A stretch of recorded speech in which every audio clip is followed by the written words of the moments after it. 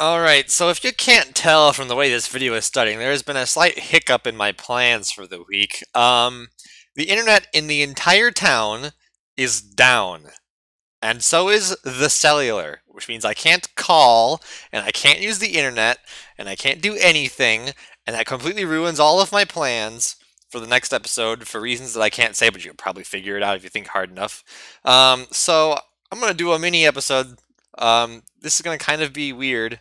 Um, and this was totally unplanned as well, because I was going to record something else today, um, but I can't, because the world sucks. So we're doing something different, uh, something something that I never really thought about doing. And what we're doing is I'm going to do this wall, or at least something with it. Um, and I figured the best way to convince myself to work on this is to just do it. Um, obviously, as you can see, the wall is just going to follow this cobblestone from that corner to the island. It's going to connect. Uh, this water is going to get maybe cut off with a drain or something. I don't know. Helm's Deep style. I haven't planned any of this through. Like I said, I literally just hopped on and I was like, you know what? We're doing something. Also, look at those fish. They're frozen. Why are you frozen? Why is this so cursed looking? And now they're moving again. that was weird.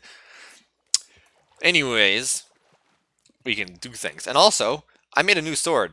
Uh, this one's called the God Blade, um, replacing the Arachnid Annihilator.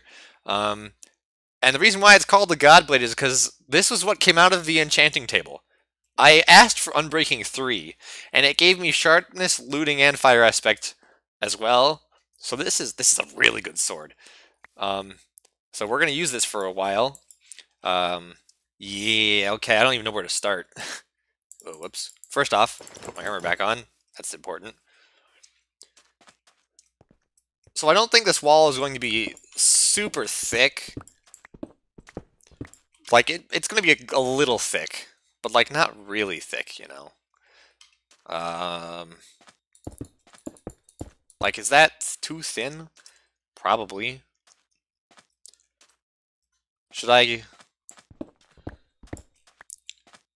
do that. No, that's odd. It, it can't be like that. That would be so confusing. We're going to do it this way. This is going to be the wall size. Yes. I should have brought dirt with me. Um, I didn't think about that.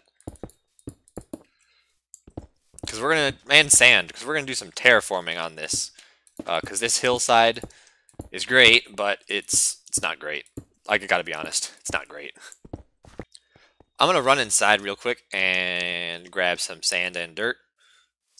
And maybe some smooth stone. I, that would be a nice thing to have as well for this, actually. Alright, I've got the goods. They're not actually in this chest, I'm just holding it. Uh, it's all right here. Yes. So I think we're going to start by bringing this side down, because I want this wall to be fairly close to the coast. But not like super close. But this should be a good start. And then this needs to be filled in at this level. Get rid of that.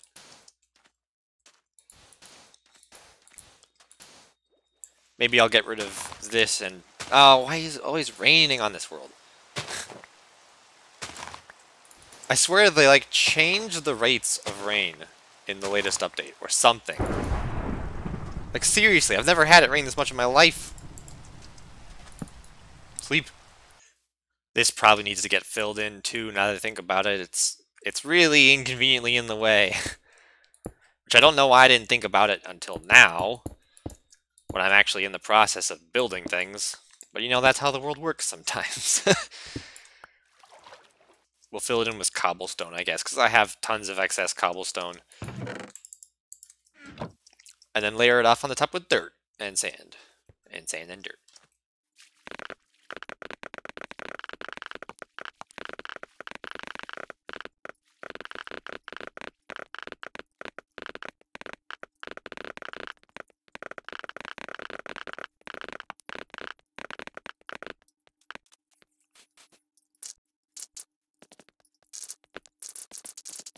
Alright, we got all the walls, bases set up here, which is already a really good start. Uh, I don't know how I feel about this stone being here, though. I think I want to turn this entire stretch here into sand, I think that would probably look the best. Except maybe I might keep to this little patch of green grass every once in a while. I don't know. Uh, we'll get there when we get there. Okay, I'm, I'm going to do this again. I'm going to go inside, and I'm going to grab some deepslate and maybe some basalt. Um, I didn't plan, as you can tell. If I planned, I wouldn't be running around like a maniac right now. I also get the feeling that this is going to take a lot longer than I was hoping it was going to take. And it's probably not even going to look that good when I'm done anyways. So I think I want to continue this pattern at the base along this way. So I'm going to have to turn all of this into polished andesite.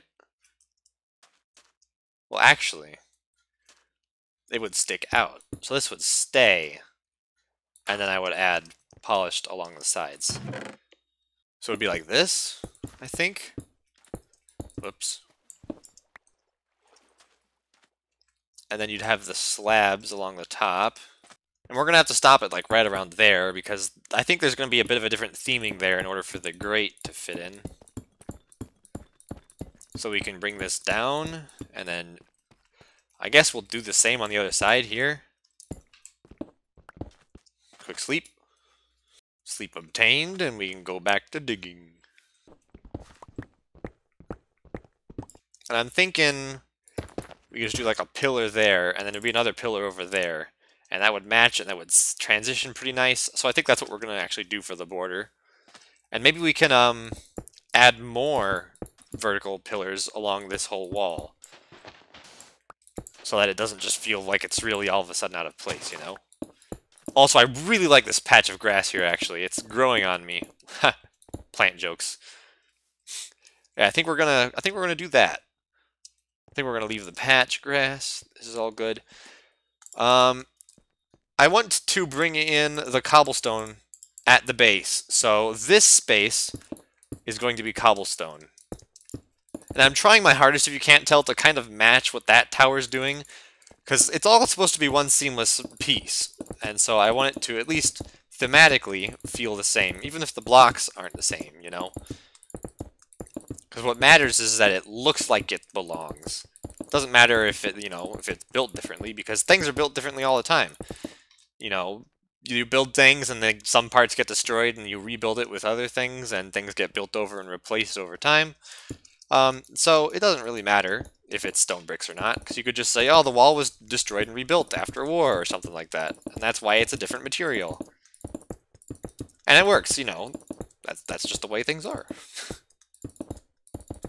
Alright, so we have this section, and I don't know if I really want to do this again. I want to see what we can do for the transition, because there's going to be stone bricks here. And so there needs to be some kind of ledge like we have there, but maybe different, that gives you the same feeling of connection. I do think that we could just do more slabs going across, and then change up whatever happens down here, which I think, I think that would work. I'm not going to do the whole thing yet, because I'm still kind of feeling this out. So we could do andesite just like we did previously. Why is there a dirt block here? I did not put this here. Did I? Maybe I did. Maybe I'm going insane. So the question that I'm having is, does this do a good enough job with the transition? Or does it look out of place?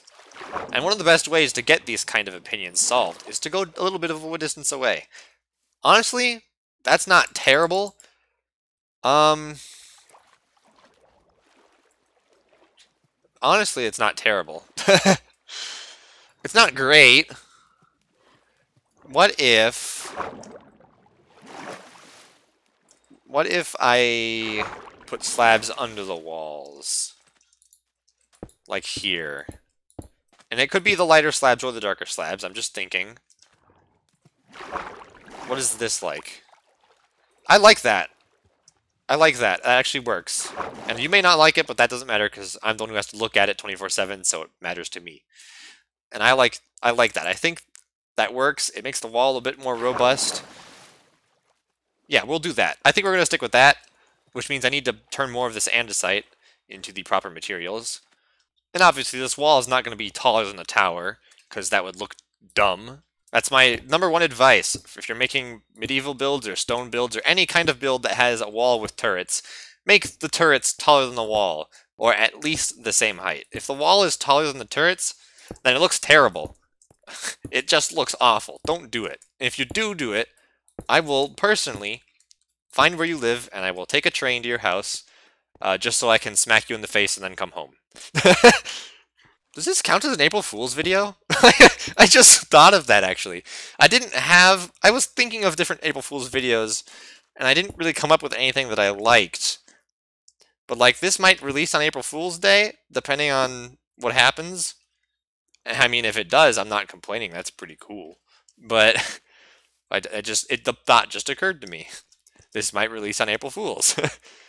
it's not even a joke. It's just a weird ass video. And you know what? If this does release on April Fool's Day, I hope you guys appreciate it because I'm one of those kinds of people that always gets frustrated uh, when my people that I watch on YouTube, you know, like they upload a video and it's like, oh boy, all of my videos for the day are really shit prank videos. And like sometimes it's okay because sometimes the videos are good, and the other times the videos are just god awful, and you end up having absolutely nothing to watch for the entire day. And that kind of be frustrating sometimes.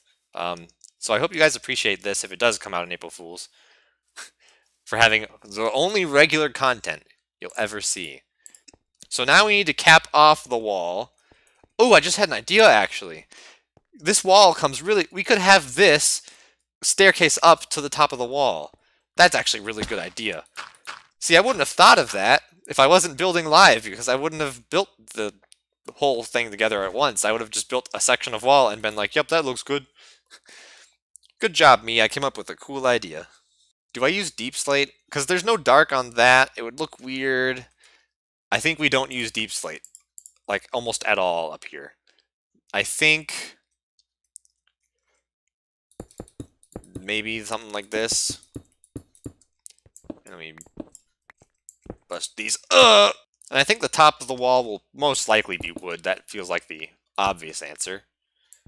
Um, so I don't even have to worry about thinking that. Well, I mean, you know what I mean. I don't know what I'm talking about. I don't do videos like this. It's not my thing. I like this. It looks very foreboding, but it does need vertical supports, so I might do that, like that column. I might do something different, something more like this, Maybe not deepslate, maybe with deepslate, I don't know. But I do like the way this looks. It's very fortified looking. But I'm thinking maybe I will use deepslate along here with walls. So we get a little bit of a highlight at the top to bring your eyes up to the top of the wall. I, and it also reflects what's down here up there a bit. So I think that's actually a good idea. Oh, hey, you know, while I'm thinking about it, I did actually come up with a solution to prevent these guys from stealing each other's jobs. As you can see here, they're all jobbed now. And the solution is double carpet. If you put two carpets down, like that, they can't walk, they can't pathfind, so they only see the barrel in front of them. So this guy cannot see this barrel. It's impossible. And so they just choose the one in front of them. And it works, and I need to get more carpets. Um, but that's the solution to the problem we were having. Alright, so in terms of wall progress, you can see here I have mirrored the stone and caps to this side, um, and, uh, among other things, I have extended this pathway up like I said I was going to, and I have now finished doing that. Oh, me likey that. And you can see here I have also capped off this section and added a roof. This is coming along very nicely, very quickly. I just need to add some caps on this side. Ugh. Ooh. I like the way that locks in right there like that. It's kind of cool. And I do kind of want to maybe make some kind of extension here in the future to make the backside a bit more fortified. Or maybe some kind of braces would be a cool idea. I don't have the materials with me, but imagine... I'll use basalt. Imagine we have like spruce blocks like here and there and there. But like periodically, and maybe not quite in this position, uh, or this angle necessarily. Like these would be like little support struts. I guess you could say that would be holding this place back. Made out of wood, like dark oak. I don't know. It might be at a higher angle. I don't know. That would be pretty cool. Maybe. I don't know. I'm just spitting ideas. And I don't know what we're going to do here. I was thinking a wall across the ocean there, so you have like a little bay. I don't know how I feel about that though. Cause like there's a lot of open space here, and a little arch thingy maybe here would be cool. I was also thinking maybe we would terraform this river away so that the land would curve here and then follow this and then this would all be grass right here which isn't a huge project and it's doable and it would give us a lot more space and you could just tie it up here pretty seamlessly turtle and I think that's probably what we're going to do but you know, that's, that's not too bad. It, I do think it needs some kind of vertical support, like maybe one, two, maybe four of them. There will be one there, where that is, and then there'll be two here, and then one in the corner somewhere. And I think that would tie this up very nicely. I think that's what this needs the most right now. And I have actually started to use this storage system. All of the stuff that I dug out from the uh, villager trading hall dig, all of that ended up in here. And it's a lot of cobblestone. I think there's like a full double chest from that room. If I'm not mistaken, let me check real quick. It's this one. Yeah. Yeah. Yeah. This is all from the villager dig. You can kind of see how crazy that was. It's a humongous project, and thank you guys so much, by the way, uh, for the support you've been giving me lately. Um, it's really great. I don't know what else to say. So obviously I'm thinking that these pillars are going to be made out of andesite. Um, and I think they're going to be this shaped going up. And I don't know if this is like too much or maybe it's not enough. Uh, so I'm hoping we'll see.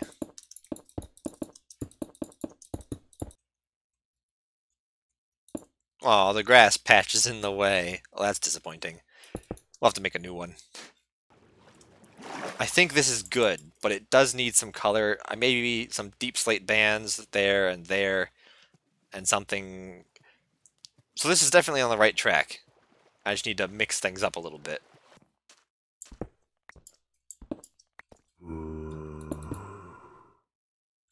What? It sounds like there's a zombie right here.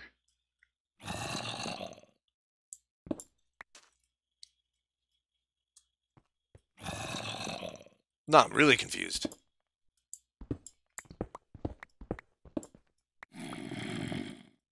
Right here? Where are you? Why? He's in the walls. He sounds like he's right here. I'm gonna go insane.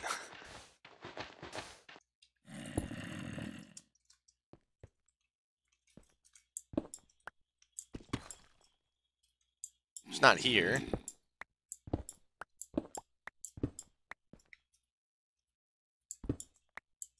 There he is. Jeez.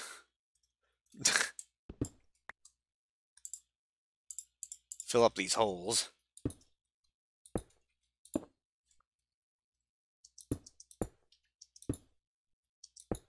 I gotta fill all this land in that I ripped apart. Looking better. I want to change this to like a cobblestone wall. I think that would look great. So I'm going to go ahead and do that now. That looks like that's done the trick. And now we need to cap off the top of these with something. I think we will probably use a deepslate slab or a smooth stone slab. I think either of those would look pretty good. But I want to try the deepslate first. And if that doesn't work, then we can go to the smooth stone. I don't want your flesh. Get out of here. Alright, slabs are in. Let's go see how it looks.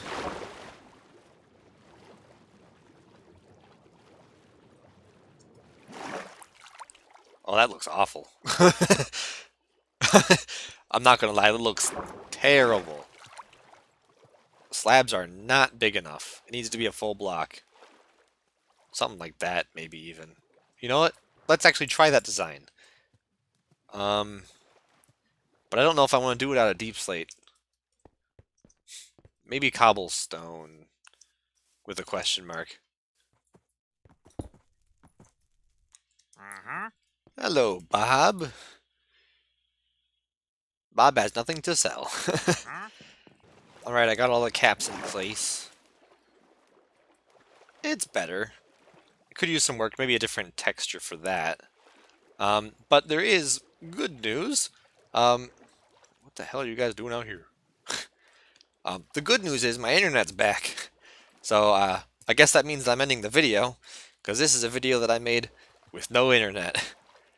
Um, I thank you guys for watching, and I will touch up this wall a little bit more in the behind the scenes background. Um, but until then, until the next episode, I will see you later. Goodbye.